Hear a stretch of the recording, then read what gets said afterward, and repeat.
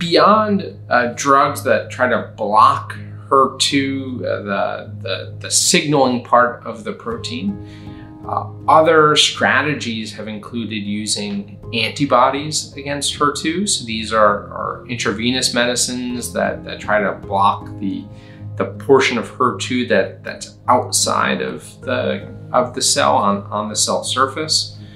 And more recently, what's known as antibody drug conjugates.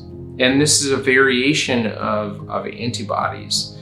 Uh, and, and here, it relies on a principle that's kind of like a Trojan horse in that the antibody binds to the surface of the cancer cell. And when it does so, it gets taken inside. But the antibody also has a piece of chemotherapy uh, tied next to it.